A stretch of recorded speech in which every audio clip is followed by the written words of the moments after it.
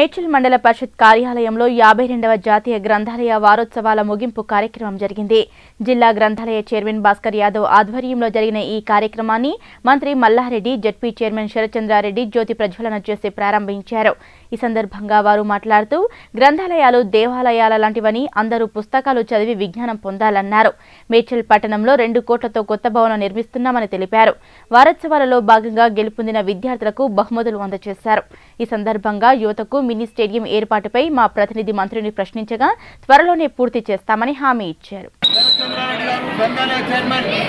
భాస్కర్ యాదవ్ గారు మిగతా కూడా వచ్చి పెద్ద ఎత్తున మా స్టూడెంట్స్ కానీ అందరూ కూడా జయప్రదం చేసింది హెడ్ క్వార్టర్లో రెండు కోట్ల రూపాయలతోటి పెద్ద ఎత్తున లేటెస్ట్ భవనం కూడా నిర్మిస్తున్నాము వాళ్ళని కూడా దత్త దత్త తీసుకోమన్న మా స్టేడియంలో గ్రంథాలయాలన్నీ కూడా మరి దేవాలయాలుగా మార్చే విధంగా గౌరవ ముఖ్యమంత్రి కేసీఆర్ గారు మరి మమ్మల్ని చైర్మన్గా నియమించడం జరిగింది.